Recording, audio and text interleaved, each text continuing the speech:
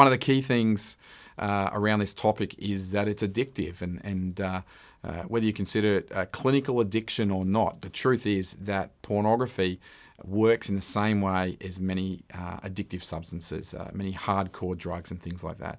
It works in the pleasure center of our brain, and every time we receive that stimulus, there is a release of chemicals that give us a high. But unlike other sort of addictions where sometimes you need to go out of yourself and out of your house to get the stimulus for that particular addiction.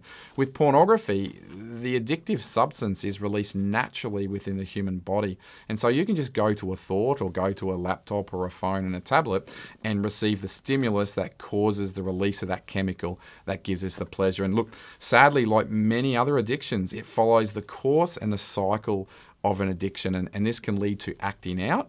This can lead to um, things like desensitization, so the idea of diminishing returns. And when I talk to young people about this, and I use these words and I explain what it is, I see their faces change because most young people in schools, they're experiencing desensitization. In other words, you see something that gives you pleasure, gives you a high, then after a while that amount of pleasure can wear off and you need a bigger stimulus to receive the same high.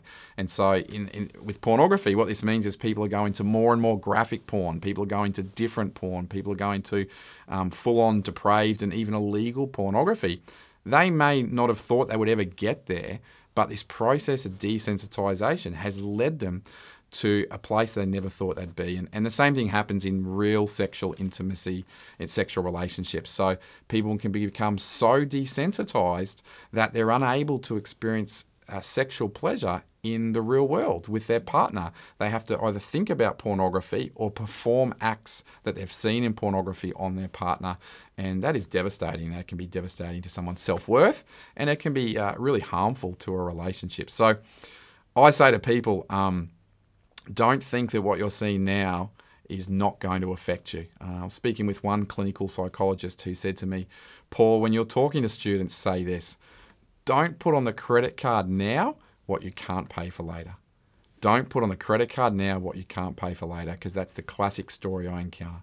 People who think what they're viewing as young people is not going to affect them later in life, and, and yet it does. You can't escape it. It's filed away in your brain, and it is neurochemically uh, seared to your memory and it affects you. And neurologically, it has actually potentially changed how uh, neurons and synapses are laid down in your brain. So it's, it's a massive thing that we're dealing with in society.